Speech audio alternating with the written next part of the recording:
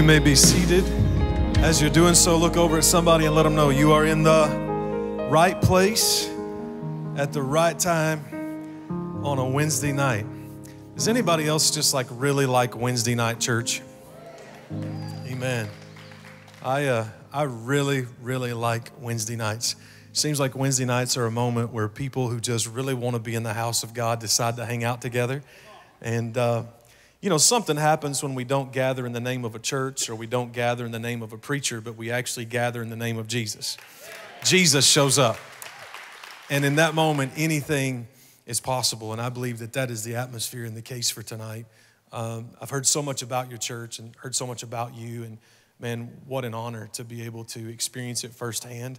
Um, we have uh, we've greatly enjoyed ourselves in Mississippi. I am truly from the middle of nowhere, Kentucky. Uh, we live uh, two hours from everything. We're two hours from Nashville. We're two hours from Louisville. We're two hours from Lexington. We're two hours from Knoxville. Uh, and up until just recently, my wife and I, we live 30 minutes from the nearest stoplight. We don't know what Starbucks is, at least the majority of our population. Um, and we drive about 30 minutes to the nearest Walmart. Um, so we have a heart for rural Kentucky. Uh, we feel like that the mandate on our life is to reach every hometown in Kentucky, um, and we are in uh, in the process of doing our best to do that. Um, I, I tell people the only drug problem I ever had is that my parents drugged me to church whether I wanted to go or not. And uh, matter of fact, my parents brought me home from the hospital. The first place they ever took me was to church. And uh, at the age of seven, um, I had an experience with God uh, that, that, that, I just became aware I was a sinner and I needed a Savior. And I remember going to an altar and, and, and weeping in repentance before the Lord. At the age of 12, I was sitting in Sister Eva Ray's class. The room disappeared, and I realized someday I was supposed to preach the gospel. I consciously ran from that call the next six years of my life. But at the age of 18, while uh, commuting back and forth to college, pursuing an engineering degree, I pulled a car over, mile marker 82 on the Cumberland Parkway, and I had a Damascus Road experience. Two weeks later, I preached my very first message. From that time until now, I have stood in the pulpit over 7,000 times. And uh, I am. Uh, I share that just simply to say I'm not looking for a place to preach. Um, I'm not here to impress you. Um, and I'm not a real big fan of longhorn sermons. Two good points and a whole lot of bull in between. Um, I believe in getting to the point. Can I get a witness from somebody? So uh, I want you to join me in 2 Kings chapter 4. Uh, I'm going to read several verses. Some of you will read more Bible tonight than you've read all year. That's okay. Uh, we're going to catch you up, all right? That was meant to be a joke. I'm starting to think maybe you thought it was true. I'm not. Um, as you're turning there, I do want to say, I'll read from the New King James Version. Uh, I do want to say, man, what an honor to have my wife with me. Uh, she is the best thing that ever happened to me. God used her to give me the two greatest gifts that I've ever been given, and that is my daughter, Natalie Grace, who's a budding entrepreneur at 16. Uh, she already runs three businesses, and my son, uh, 14, who is quite the uh, basketball player. Matter of fact, we will leave here, meet him in Nashville, and he's going to Houston to be evaluated uh, by different colleges and different stuff like that. So um, we're, uh, we're, we're really thankful for the family that God's given us, but we're also really thankful for the friends that He's given us. And the Boggs family, yeah, they're just great friends. And uh, we love them so much. You have been, you have been blessed with a gift. Um, you, you really have. Um, I think Pastor Ethan told me today, 31.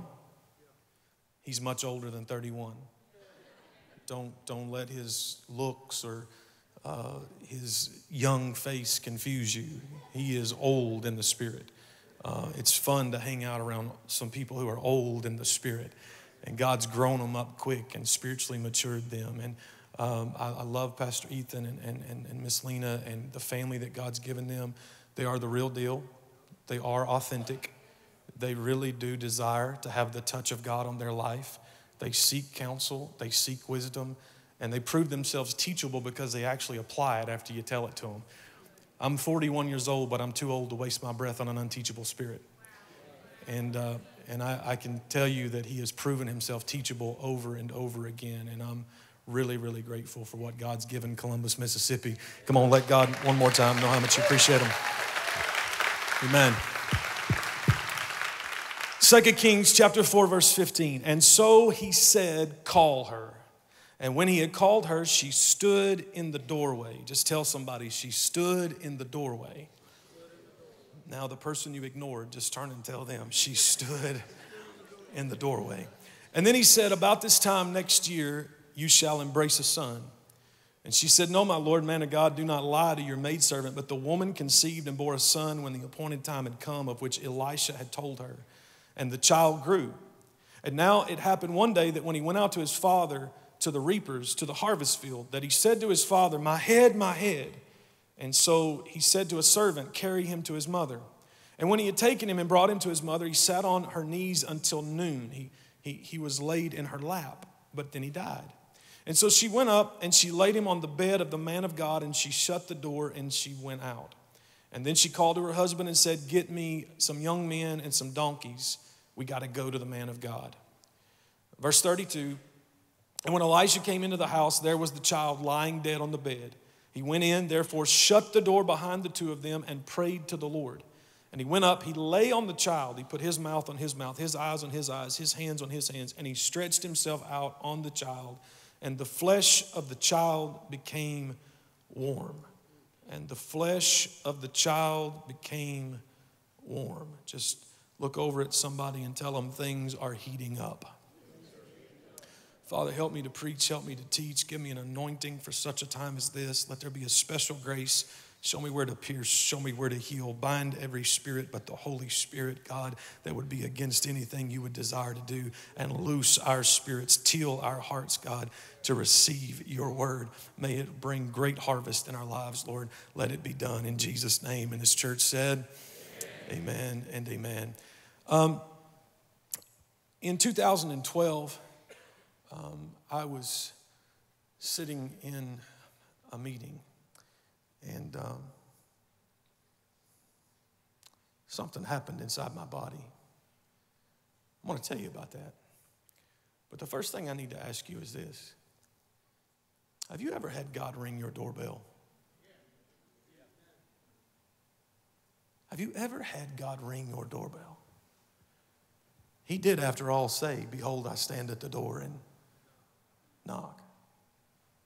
2012, I'm sitting in a meeting. We're conducting some business on behalf of the church, and something came apart on the inside of my gut. Uh, little did I know that when they took me out of the office that day, that uh, the impending result was going to be uh, five surgeries over the next two and a half years. Uh, during that time frame, I would lose about 90 pounds. My wife likes to jokingly say that she married the linebacker and she spent two and a half years sleeping with the field goal kicker. it was during that time of being really sick, and I couldn't get a breakthrough. Uh, at one point, I was with what they described as the, the best colorectal surgeon east of the Mississippi River, unable to fix my issue. Then I found myself at Mayo Clinic with what was described as the best colorectal surgeon west of the Mississippi River in multiple attempts, unable to solve my problem. In, in the process of this journey, something crazy happened. My health insurance got canceled. Um, get ready for this. They, they said I couldn't validate my U.S. citizenship. I asked one of those ladies over the phone, Are you listening to me talk? Do you know how far back in the woods you got to be from to have this kind of vernacular? I tried to fax it, I tried to email it, I tried to upload it and scan it. Nothing worked. They were so they canceled our, my health insurance. Um, I was left with tens of thousands of dollars in medical bills. And it was right about here that I started to, to really get confused because I didn't understand why God was allowing what I was going through. And it resulted in my wife and I actually going for a drive uh, down to a, a, state park in Kentucky. And we just went down and sat by the water's edge and we tried to talk through it. And I'm like, Mandy, I don't understand this. Like, I believe in tithing, I believe in honoring God. First check I ever wrote was to my local church to pay tithe on the calf that I just sold at the stockyard. And from that time until the time forward, I had never failed to put God first in my finances. And now here I was with my finances completely devoured. I thought he said that if you would put him first in that capacity, that he would rebuke the devourer. And now not only are our finances devoured, but my body is devoured. I'm nothing but skin and bones, and they can't find a fix. And I remember sitting there in that state park saying out loud, I don't even know if I believe in this anymore. I made my way back to the truck, and no sooner than I had gotten into the vehicle and started the engine and started out of that park, the phone rang, and it was once again Mayo Clinic, and they were calling to inform me that I owed $13,000 more that they had not yet made me aware of. And I got so mad that I threw the phone. And when I went home that evening, um, I wasn't a real fun person to be around. And I remember the house was dark and I had pulled the shades and I was just kind of sitting there, just like, God, what is going on? Like, I don't understand. Like, your word is failing in my life. And about that time, the doorbell rang. And I thought, the audacity of church people. like, I'm here I am having a spiritual meltdown, and, and they won't even leave me alone. Like, what do they want? They want me to come out on the sidewalk and pray with somebody? Am I supposed to counsel somebody? Am I, they need me to go do a hospital visit? Like, I don't want to be bothered right now. And, and it rang again. And I waited for Mandy to get it. And it rang again. And finally, I got up and I made my way to the door in response to this doorbell, really with a rebuke in my heart. And I opened the door to discover it was a man from my church. And he said, Do you mind if I come in for a minute? Yeah, actually, I do. I, I, it won't take but just a moment. If, can I come in? And, and standing in my doorway, he extends an envelope to me. And he says, I just want you to understand that there are some men in our church that are aware of your situation. And God has put it on our heart to let you know that He sees you. And he hands me the envelope, and I, I remember after he exited my house, I, I, I walked over to the, the, kitchen bar that we had, the kind of a countertop, and, and, I, and I, just looked at the envelope for a second, and, and I, I felt this overwhelming sense of God's presence. And I'll never forget that as I opened the envelope and, and made my way towards what was inside, I discovered a check that was for more than enough than every single penny I owed for medical bills.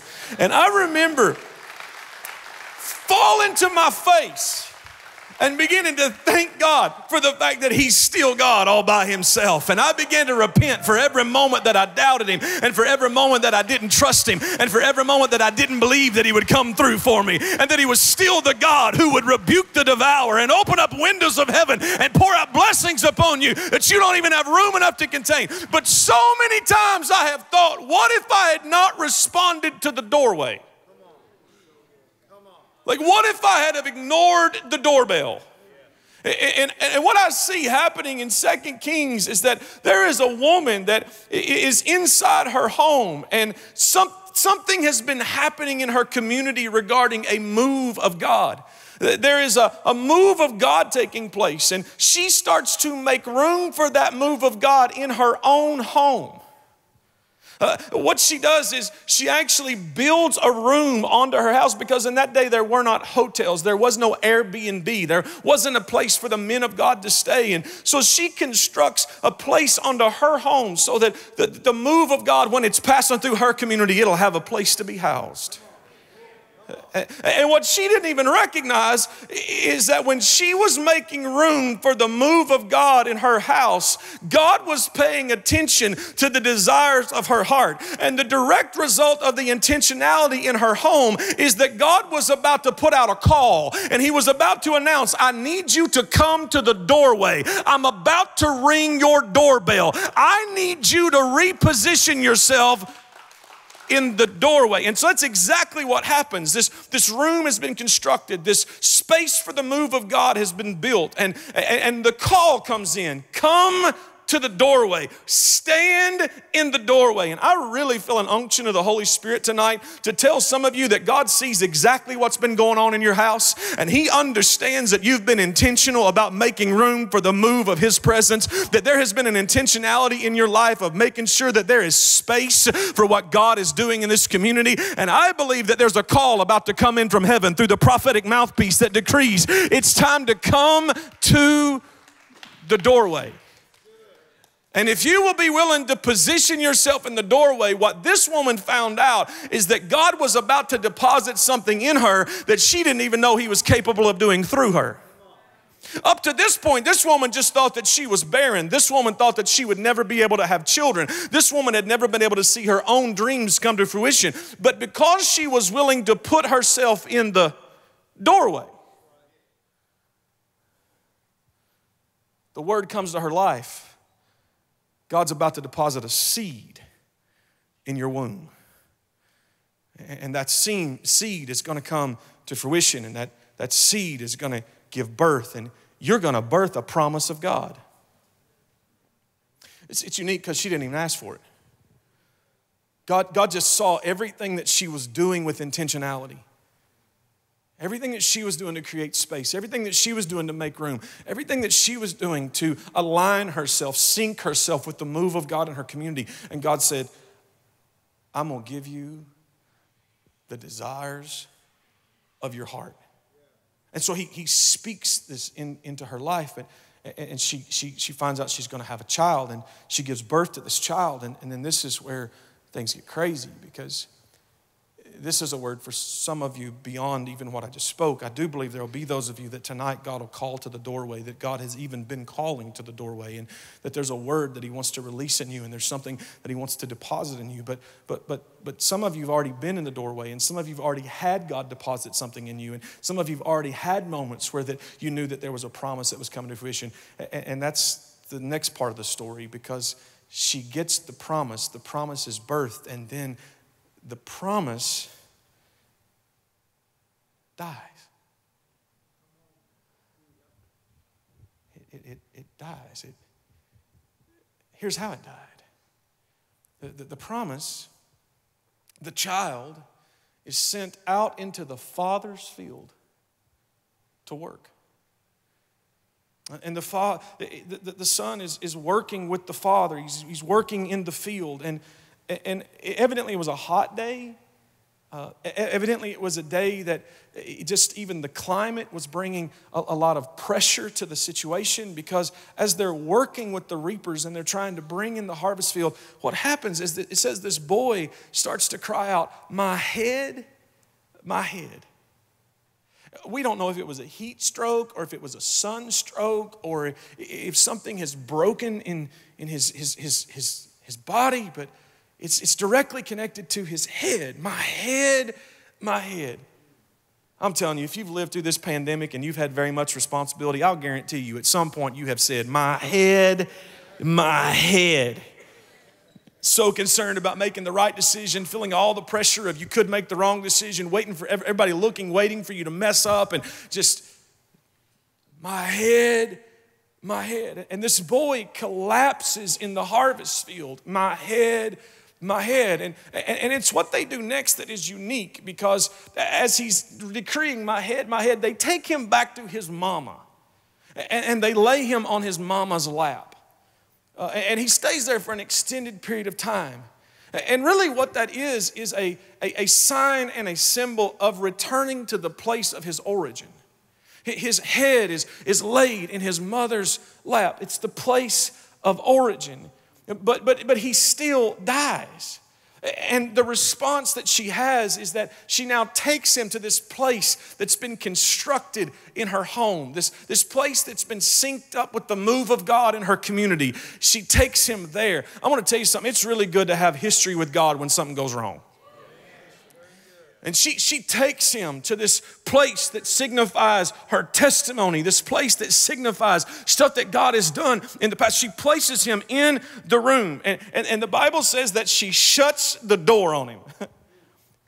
that's a unique thing because sometimes you just got to shut the door on some things. You, you got to shut the door. Am I, do I have to preach this out for you? Because I know some of you are living this already. Sometimes you got to shut the door on some people's Facebook feed. You got to shut the door on some folks' Twitter feed, and you got to shut the door on some people's text because sometimes you just. You know you're going through. You know you're going through. Shut the door. And she, she makes a, a, statement. She says, I need something. I don't care if it isn't anything but a donkey, but get me something because I got to go get the man of God. I, I got to align myself with the Word of God. I've got to align myself with the prophetic unction that's over this house and, and over my life and over this promise. And, and what happens in this moment is that do, do, you, do you realize what's happening? The, the boy died, and, and they bring him back to the place of his origin, which then takes him to the place that represents making room for God. And then the call is made for the man of God. She's retracing her steps. If you have ever lost anything with God, you will discover that you will have to retrace your steps to at least two places. Number one, the place where that you last made room for him to move. And number two, the place where that you last got the word of God over your life. Maybe it was a message, maybe it was a word of wisdom, maybe it was a word of knowledge, maybe it was prophetic unction. I don't know about you, but I lose stuff. Like, I, I, cannot keep up with my keys. It is a constant issue. In fact, every facility that we have associated with our church that has a door that I have to enter, they've had to put a key code on it because I can't ever find my keys. In fact, when I go to get into the vehicle, it is a common occurrence at our house that I cannot find my keys. So I know what it is to have to retrace my steps. And some of you feel like that you've lost something in your relationship with God, that, that maybe there's been some part of his, his promise in your life that, that it just doesn't feel like it's, it's, it's what, it, what, what, what, he, what, he, what he promised you in your life. That some of you, you've had moments in your situation with God where it's like, well, God, I wouldn't even have had this thing if you hadn't told me I could have it. God, I didn't even ask you for this thing, but you told me I could have it. And now, God, it feels like nothing's working out the way that I thought it was going to work out. It feels like something is dying on me. And I believe the Lord would say to you, retrace your steps and find that place where that you last made room for him. Find that place where you last set aside time to pray. Find that place where you last set aside days to fast. Find that place where you last got up every morning and said, I'm going to put myself in the Word of God. Am I? I'm gonna have to get personal, ain't I? yeah, I, yeah. So our church went through this thing. Um, we were like growing like crazy. But while I was preaching, like I would look out and people be making out their laundry list and clipping their fingernails and playing with their phones. And that bothered me. And so this was some time ago, and my, my dad, he's just a man of really few words. He's the closest thing to Grizzly Adams I've ever met. True story. He doesn't say a lot, but when he speaks. So, my dad's always volunteered at the church. He, he's never had a job there, but we've created a little office for him. Like it's almost equivalent to the closet at one point. And at this particular time, he was in his little closet space, and I would come in on Mondays, and I would be so mad about the way that the church was going. I, am like, we're growing, but it's just, it just feels like there's something missing. You, you do understand that everything that grows isn't healthy. See, you can get cancer and it'll form a tumor and it'll grow faster than any other part of your body. And I, I would go in, I would stand next to my dad's little, little office door on Mondays, and I would just start. Can you believe those people, Dad? I mean, they're playing on their phones while I'm trying to preach. Like, what has happened to church people? And my dad finally, after several days of this, he was just tired of hearing. He just said to me, he said, Eric, you want to know what's really wrong with this church? So I think I've made that abundantly obvious. I would love to know. He said, Eric, you ain't anointed anymore. I said, Who? What? And I started quoting my resume to him of everything I had give up to be in middle of nowhere, Kentucky. And all the sacrifices that I had made and all of the challenge. So I went to my office and grabbed what little bit of stuff I had and I went out and got in my truck, and at that time we had a gravel parking lot, and I just did figure eights all over the gravel parking lot. And I made sure to baptize his window in gravel. And I went home and I did something incredibly spiritual. I went into my basement and I watched the Godfather trilogy for three days. And on the third day, I'm still brewing. And I come up out of the basement. And I walk by my little sweet, meek wife who I found in a Baptist choir. And I, as I passed by I said, Can you believe the audacity of my father that he would say something like that to me? And she said, Well, Eric, I have to admit, you're not the man you used to be.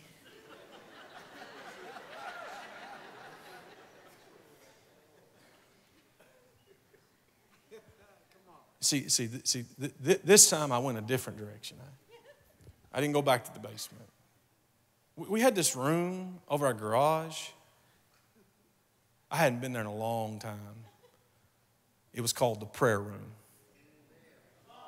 It was this place where we had made room for the move of God make sure we were synced up with it, make sure we were in line with it. And, and I remember as I began to make my way up those steps, I wasn't even to the top of them by the time I was flat on my face. And I began to cry out to God in repentance and repent for the fact that I used to make the sacrifice, but I didn't make it anymore. That I used to be intentional about who my friends were, but I wasn't anymore. That I used to be making. And all of a sudden, as that repentance began to take place, God began to re- just refresh me with every word that had ever been spoken over my life and every prophetic declaration that He'd ever given our household. And I'm telling you, three days later, when I come out of that place, something was different than me that has never been the same since then. I believe God I believe God's trying to get somebody to retrace their steps. He's trying to get you back to the place where you used to make room for Him and you start making room for Him again. And it's not just 21 days at the front end of a year, but you begin to live 24 7, 365, saying, I'm getting up serving God and I'm going to bed serving God. And with every step that I take, I'm going to put hell on the run, that hell might be plundered and heaven might be populated. And that when I go to bed at night, hell's going to know they had to deal with somebody that was consecrated to God with clean hands and a pure heart and a renewed mind, a helmet of salvation, a breastplate of righteousness, loins girded with truth, feet shod with the preparation of the gospel, one hand the shield of faith, the other the sword of the Spirit, weapons of the warfare not carnal through man's hands, but mighty through. I don't know who I'm trying to help tonight. I'm talking about blessed coming and going, the head and not the tail. And every enemy that raises hand against you would be smitten by the Lord your God because you've read the back of the book and you understand we win because our Lord's got eyes like fire and a sword proceeding out of his mouth. And upon his back is a vesture that's dipped in blood. We understand that we are not called to blend in, we are called to stand out for such a time as this. We have been brought to the kingdom of heaven into our land. And if we perish, we we perish. For if God be for us, who can be against us? Slap somebody a high five and tell them, You better retrace your steps. You better retrace your steps. You better retrace your steps.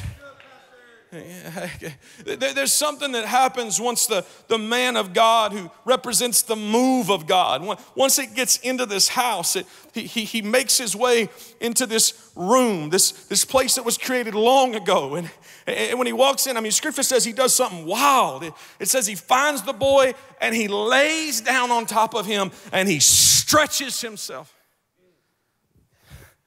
Boy, doesn't that sound like God? I mean, every time God gets ready to do something, He requires somebody to stretch something. And the way you can really tell it's God in this story is a man didn't have to do it once, he had to do it twice. He stretches, symbolic of what God's about to do in your life. There, you're retracing your steps, and you think stretching once is enough. You're about to stretch again. Go ahead and get ready. And stretch, stretch. And then it's what happens next. It is unique. Eh? It's almost like God's trying to get something metaphorically across to his people with prophetic unction. It says, the symbol of the move of God, Elisha, put his eyes on the boy's eyes.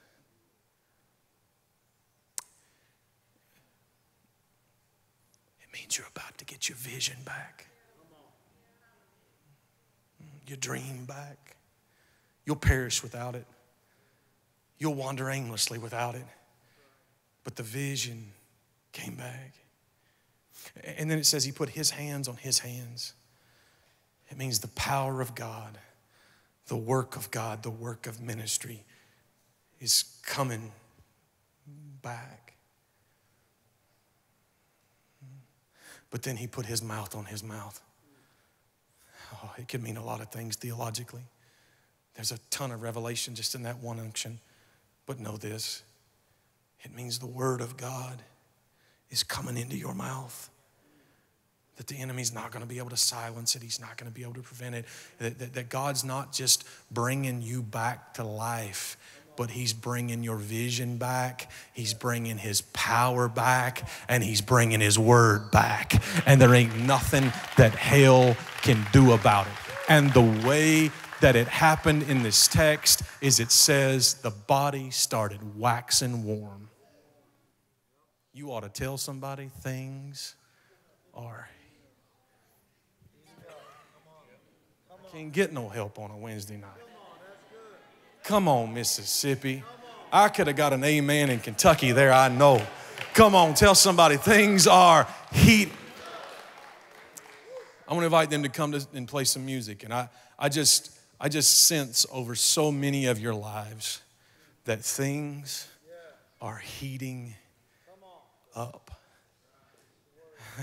there's, there's some of you that you, you, you've waxed cold in your relationship with God.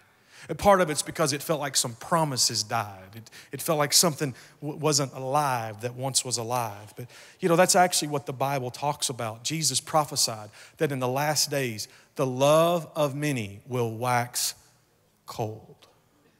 Jesus said that.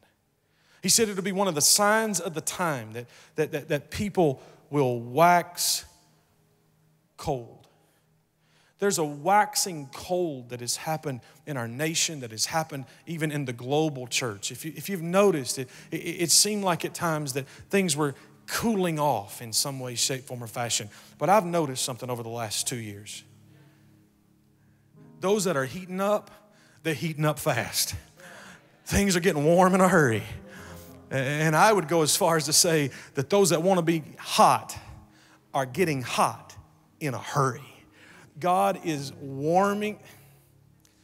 He's war- God's presence is a consuming fire. And when His presence really starts to manifest, He'll heat up a worship service. He'll heat up a prayer meeting. He'll heat up a small group. He'll heat up a conversation.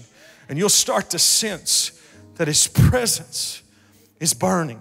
And I believe that you're going to have moments in Sunday services. You're going to have moments in Wednesday services. You're going to have moments in your small groups. And you're going to even have moments in your private prayer times with God where your family's just gathered around a coffee table. And it's just going to start to heat up. And you're going to begin to sense, man, I feel the presence of God. I sense the presence of God. There is a generation that is desperate for something more than a concert venue with a motivational speech that has a God slant. There is a generation that needs to know the power of the Holy Spirit and the fire of our God's presence. It is the only thing that will be the answer for America's problems. It is the only thing that will be the answer for a generation that desperately needs to be shaken to their core so that they can find an experience with God that cannot be explained away. I challenge you all over this room. Would you just stand with me to your feet? And I want you just to begin to praise God. I want you to worship God. I want you to thank Him for the fact that things are heating up. Thank Him that you're not waxing cold. Thank Him that you're not one of those folks that is allowing the sin to make you numb, that is allowing the lack of purity to cause you to slip into a slumber. But instead, maybe you're